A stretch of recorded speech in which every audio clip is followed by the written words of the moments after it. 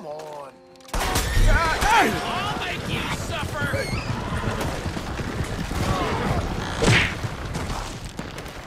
Damn.